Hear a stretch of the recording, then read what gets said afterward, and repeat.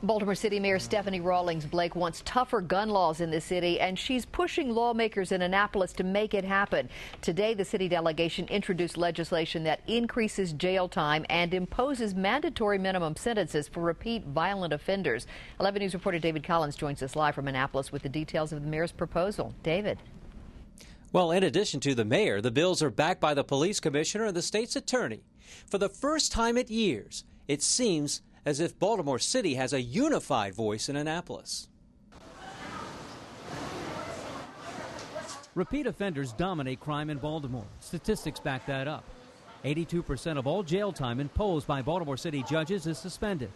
44% of murder suspects last year alone had a previous gun arrest.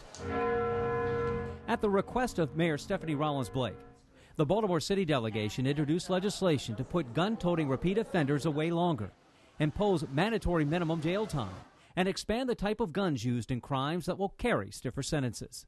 If we put them away for three, four, five years, you're going to see a decline in the crime rate. I'm fully in favor of it. Newly elected City State's Attorney Gregg Bernstein recently met with the city delegation to discuss his crime fighting prosecution strategies.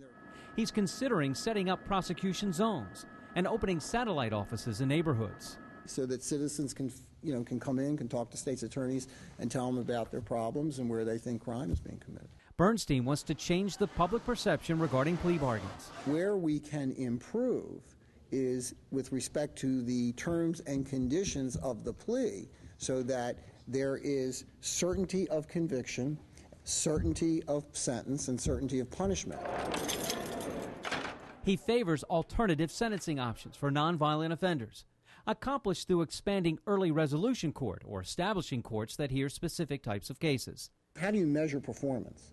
You know, do you measure performance simply based on conviction rates, but or do you measure performance by a case in which uh, you make the decision that it's not something that ought to be prosecuted, but you're able to move the defendant uh, into um, um, an alternative kind of program. The city delegation seemed pleased with the prosecutor's approach.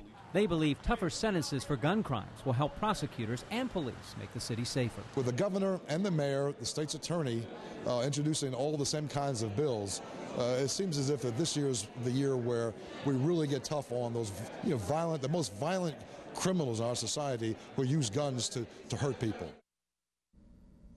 City officials have repeatedly pushed for tougher sentencing regarding gun crimes, but all those efforts have failed in the past. Last year, similar bills passed the House but died in the Senate. Reporting live from Annapolis, David Collins, WBAL TV 11 News.